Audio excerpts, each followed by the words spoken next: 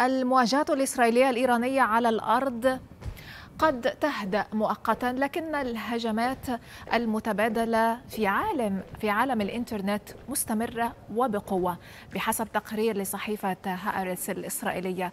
رأى أن الحملة الإسرائيلية التي وصلت إلى ذروتها بالأسابيع الأخيرة وشهدت اغتيالات بالداخل الإيراني وخطط إيرانية بالمقابل لاستهداف إسرائيليين بالخارج ربما تكون قد انخفضت حدتها بدليل خفض مستوى التحذير من سفر الإسرائيليين إلى إسطنبول.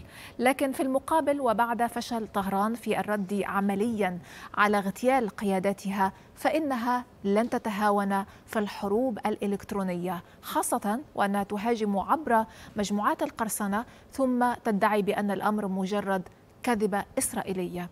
أضاف التقرير أيضا أن حجم الهجمات الإلكترونية الإيرانية ارتفع وسجل على ما يبدو نجاحات مؤخرا.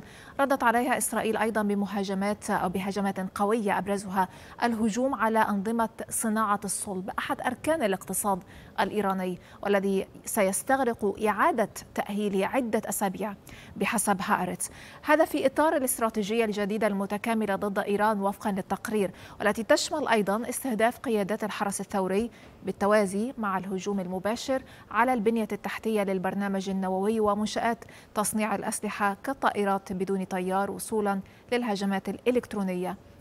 رغم عدم اعتراف تل أبيب بالمسؤولية عن عمليات القرصنة لكن التقرير استدل بالخطاب الأخير لرئيس الوزراء الإسرائيلي نفتالي بنت الذي تحدث فيه عن الردع الإلكتروني مؤكدا أن الهجوم عبر الإنترنت سيتم الرد عليه وبشكل فوري. ما يراه التقرير ليس فقط اعترافا بالهجمات بل وتهديدا مباشرا لإيران.